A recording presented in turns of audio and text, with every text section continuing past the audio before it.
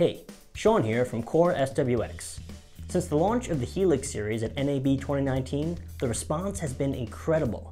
And one of the most common questions we receive is, should I invest now or wait until I need the higher voltage capabilities? So on today's Core Minute, we're going to break down the differences between the Helix 9 and its standard voltage sibling, the HyperCore 9 Mini. As mentioned, the Helix line has taken the cinema industry by storm, and we're having a hard time keeping up with the demand at the moment. But rest assured, we'll catch up very soon. On this minute, I'll discuss the differences between the Helix 9 and the HyperCore Mini, and why now might be a good time to invest in the Helix if you're considering buying new or more battery packs but don't need the high voltage feature just yet. One of the obvious glaring differences is Core's next generation runtime LCD featured on the Helix. This high-resolution onboard LCD provides the utmost transparency on battery capacity, runtime, charge time, and whether the HV output mode is activated.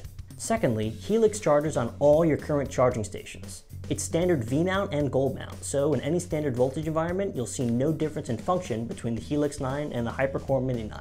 They both function identically. Third, the Helix 9 doesn't have a USB, as we needed some extra space within the shell to allow for the high voltage circuitry.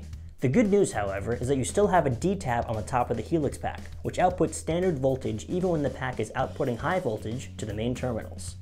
This is ideal for when you need to power something like an ARRI-LF, yet still need to power an onboard monitor or transmitter. Fourth, RFID is built into the Helix 9. This allows you to quickly review your battery's vitals by simply placing your phone over the battery with our app.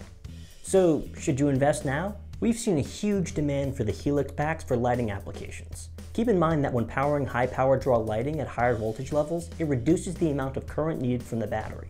Less current means less strain and heat from the battery, which extends operational service life. We recently came out with a sky panel and a C-stand battery bracket to better address high power, high voltage LED lighting applications. So, the advantage of using Helix in this application is that you don't need to use inefficient DC boosters, which put more wear and tear on your 14 volt packs. Camera-wise, ARRI has already stated that the next iteration of cameras in 2020 will be high voltage operable only. So again, if you're considering a new battery purchase, you may want to look closely at the minimal price difference and buy the Helix. If you're not using high voltage equipment yet, you can still use the Helix to complement your current fleet of battery packs. And once you invest in a new high voltage camera, you just need the mount plate to get up and running. So the packs will work on both high voltage equipment and standard voltage equipment.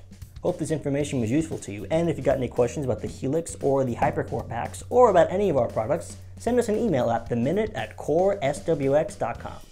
Thanks for watching, see you next time.